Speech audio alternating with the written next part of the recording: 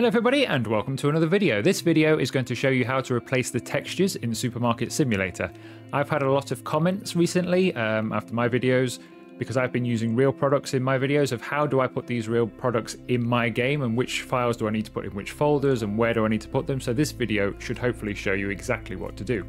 So the first thing you're going to want to do is you're going to want to download the texture replacer mod once you've got the texture replacer mod extracted and it should give you a folder called texture replacer. What you're going to need to do is you're going to need to put that in BepInEx plugins. So if you go into BepInEx and then plugins, just place it in here, texture replacer.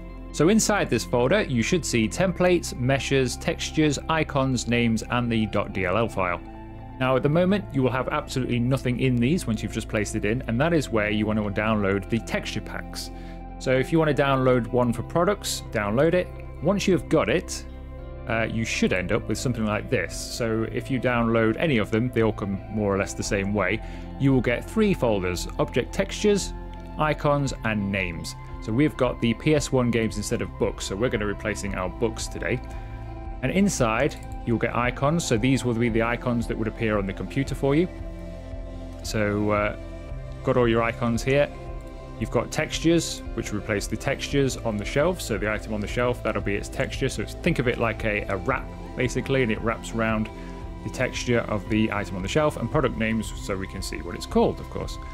So all I have to do is open my icons folder. As you can see, I've got quite a lot going on in here already. These are the ones I am currently using in my playthrough series. All I have to do is go into icons here. I'm going to use all of them. So I'm going to drag them all across and just drop them in. If you only want to use one or two of them, you can do just that. Every single number corresponds to an item within the game. So I think it's 160 something items in the game. So every single one has a number. So you can only replace one item at a time and have one thing running, but uh, so say if you don't want to replace all of the books, if you just wanted to replace three of them, pick the ones you wish to replace and just put these in. Now how do you know which books are which, for example? Well, you can come across to templates, go into vanilla, go down to product icons and you will see all of the current icons that are in the game. These are all the original products. So you see the books are here, uh, 12 to 23 are books. So you know exactly which ones you are replacing in the game. You can cross-reference this see exactly which products you are replacing. So we've done that, so we've got our icons in. Next, we're going to put in our textures. So these are the textures of all the different products that I have replaced in the game.